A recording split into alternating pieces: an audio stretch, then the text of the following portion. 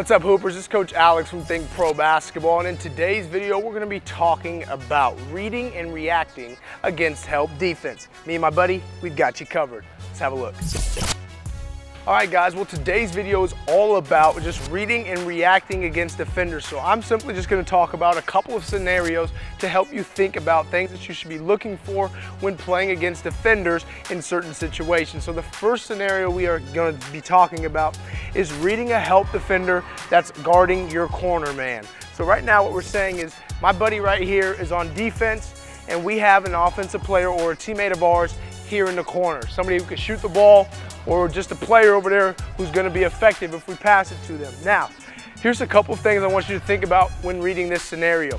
Number one, you always have to have the mentality that when you attack the basket, you go to score. That was one of the biggest things that I learned throughout my entire college career, that anytime I have the ball and anytime I'm in attack mode, I have to go to score, whether I actually do score and make a play to shoot the basketball, or even if I do make a pass, because if I go to score and that's gonna make the defenders react, which is then gonna allow me to make plays for my teammates. So I have to have that mentality. So let's say I just go in here and all I'm thinking about is simply making this pass here. This defender can jump the passing lane, steal it, go to the other end and score right? But if I go in here like this with my head squared on, I'm going to make a play, I'm going to score, and I get in here and now this help defender comes, now I'm able to make a later pass where now I've got the defense all the way in and I'm able to make a kick out pass to my teammate. All right, so now let's talk about just a couple of things that you should be reading. Number one, if this defender is obviously out in this position here guarding our teammate, then your job is to beat your defender, boom, get to the basket, maybe just to keep him honest is to throw a ball fake at him, get to the rim and score. But if they're hugging against that corner man, then what you can do is drive, get to the basket, use that opportunity to score the basketball because they're giving you that free open lane. All right, so the next part we're talking about is, so we just established that the defender was out there hugging against our, our offensive player, not in the way. Now, let's say they're in here in the proper positioning as a defensive player. You're in between the ball and your man, so they're here. Now, how are we gonna read this? Well, Number one, have that mentality to go in here to score, making the defense react. If they come in here and they just kind of flinch at you, you got to continue on. Because as a defender, what I want you to do, oops, sorry, buddy. If we get here and I just go like this and you make that pass, I'm already in your way, I'm deflecting it, I can make a play on it and I can steal the basketball. So if I'm going in here like this and now I get them off balance, maybe I give them a pass fake and they turn their back to me, I'm able to score. Now if I drive and that defender comes in, that's when I want to make that pass. So if I get that defender to bite in, to suck in, boom, they come in, they try to stop my drive, that's when I can make that pass out and that allows my shooter to get a free uncontested shot. So just being able to read the help defense of the corner, are they hugging your, are they hugging your teammate? Are they in help? Are they stunning at you? Are they trying to cut you off? Are all different types of reads and reactions that you're gonna have to make in order to be successful in this type of situation. All right, now here's the second scenario. Let's say we're getting into the middle of the paint. We penetrated against the defense. Now we're getting in this area. Now we have to be able to read the help of a big man who's coming over. So we're gonna say that we have a player on our team right here on the block waiting for the ball. Okay, again, the biggest thing that you have to do when attacking the defense is go to score. Put the pressure on the defense rather than allowing them to put the pressure on you.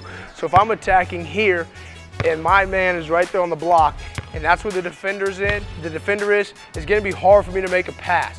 So if I'm just telegraphing and if I'm getting in here and I'm looking at this defender and they're messing with me and I make that pass, it's a steal. So I've got to attack, get in this position to try to go score. Now, if I leave the ground, if I go up to score, now the shot blocker comes, that's when I can make a pass late.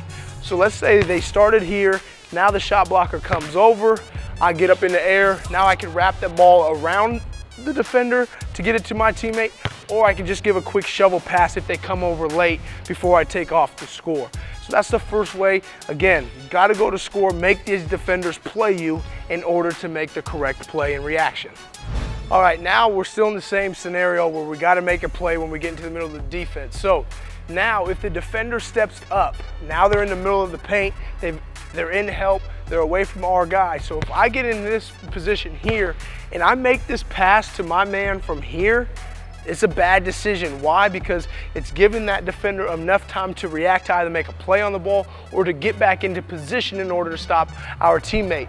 So I've got to attack. The only thing that's good from this position, if I throw a lob over the defender to my player, right? But if the closer I get, and the closer I get to this defender, I've got to make them make a decision. And whatever decision they make, I'm going against it. So if they come to me, so if I'm driving and now this defender comes up even higher, boom, that's the easy play. They come up and they play me, I just drop it off to my teammate. Now if they just sit back here, again, I can go to position where I, they drop back, they drop back, okay, boom, I get to the rim. Or like we just talked about, we get in here, we leave the ground, we give a nice little wraparound pass. So you have to read what this defender's doing. Are they coming up to you where now you can make that easy pass? Or are they playing in between, playing in between, and then all of a sudden they back up to their man because they think you're covered and you can go score but you have to be able to read. Reading reaction is all about being steps ahead of the defender, being able to read what they're going to do, being able to read what you want to do rather than allowing the defense to dictate because if the defense dictates what's going on, you're gonna be in a tough position to make a play. But if you're dictating everything that's going on, the plays that you're trying to make, if you can envision what you're trying to do before you actually do it, you're gonna be more successful. So being able to read and react against a big man is important, especially when attacking the rim. But the biggest thing again, and the biggest thing you have to take away from this video is going to score. Having that mentality will help you make plays for yourself at the rim or to get your jumper or to make plays for your teammates around you. All right, just this is the last just quick scenario that I wanna talk about. Anytime you're playing in a pick and roll situation, I'm speaking for the guards out there right now. When you're playing in a pick and roll situation, your read is is number one, what your defender does. But right now I wanna talk about what the, the, the defender who's guarding the screener is going to do. All right, so let's say we're getting our screen set right here, right at this red line.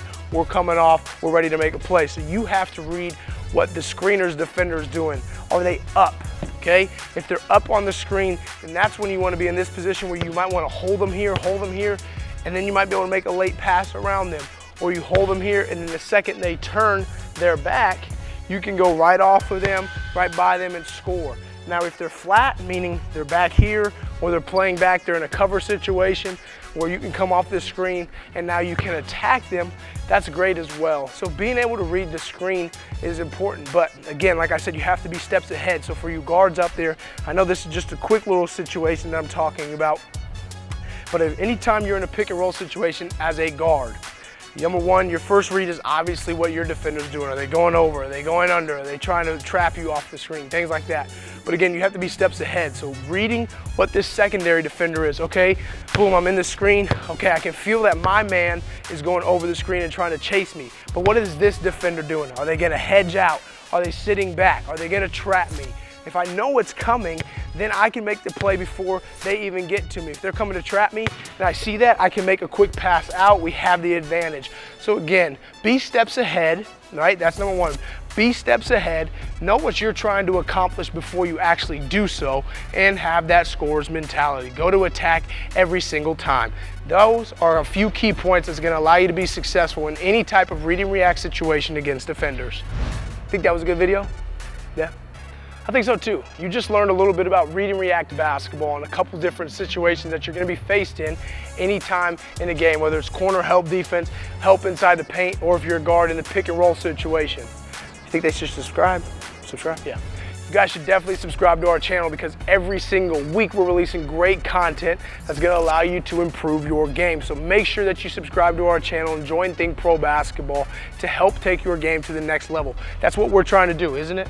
Yes, provide the opportunity, the knowledge, skills, and drills to help you take your game to the next level. And we wanna help you every single step of the way. So make sure you subscribe and check out all the great content that we have to offer.